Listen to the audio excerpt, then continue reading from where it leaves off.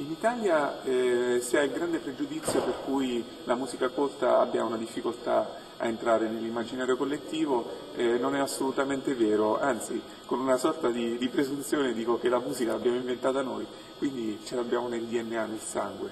Eh, le cose belle vengono sempre riconosciute e soprattutto in Italia viviamo un momento di eccezionale risveglio artistico e culturale.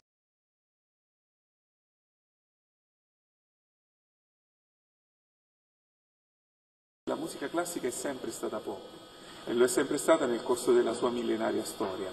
Solo nel Novecento la musica colta si è chiusa dentro una torre d'avorio ed ha deciso di non comunicare più con, eh, con la società. Invece è giunto il momento di, di, uscire dalla torre d'avorio e di fare in modo che eh, la musica colta ritrovi il suo filo rosso eh, eh, diretto ed immediato con, eh, con il cuore della gente. È quello che hanno sempre fatto i grandi compositori del passato.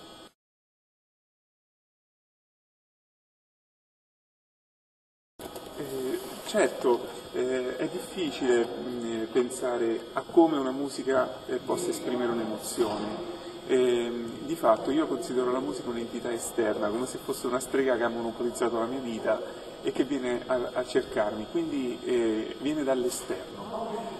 Poi eh, la musica che viene a trovarmi ha un impatto emotivo prima di tutto su me stesso e poi anche sull'ascoltatore del, del disco oppure l'ascoltatore del mio concerto live.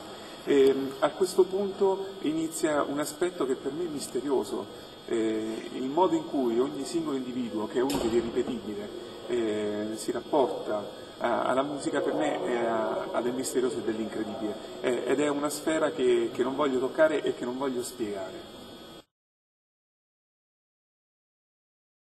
La direzione verso cui sto andando è, è, difficile da capire perché, perché, come dicevo non sono io che sto prendendo una direzione ma è la musica che viene a trovarmi, eh, che attraverso di me, che sono un umile manovale, eh, si manifesta e si esprime. Probabilmente eh, la musica contemporanea eh, nasce all'insegna di una semplicità che però è una complessità risolta, eh, altrimenti è banalità. Ehm, e, e, contiene dei caratteri che sono, che sono, tipici della contemporaneità, un certo tipo di ritmica, eh, una certa costruzione delle melodie, un certo tipo di armonie, il rifiuto eh, della sperimentazione a tutti i costi eh, e la, la, atonalità e la dodecafonia come eh, un piccolo incubo eh, del passato che ci teniamo alle spalle. Grazie. Grazie.